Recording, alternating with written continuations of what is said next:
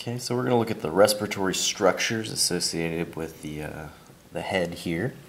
So first we can see our external nares. So these would be where your nostrils are.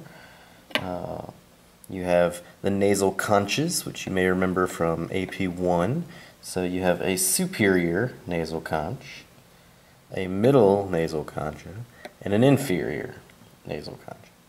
You've got the hard palate here, the soft palate back here.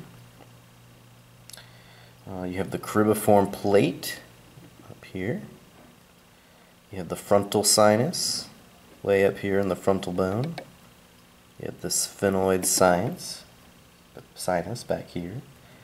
Uh, the internal nares, so remember our external nare was your nostrils, the opening there. Well, the internal nare is back here. It's kind of this line right here. The nasopharynx is the region right in here. The pharyngeal tonsil sits on the back. The uvula is what hangs down here. The palatine or tonsil is right below that. The lingual tonsil is at the base of the tongue. Uh, so this is your tongue, lingual tonsil.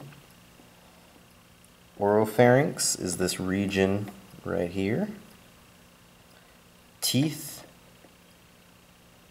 uh, labrum or lips. Epiglottis is this little flat guy right here. Glottis is this region right here, structure here. Uh, laryngopharynx uh, is the region right here where you're at the base uh, of the larynx and the esophagus. And then your vocal cords are here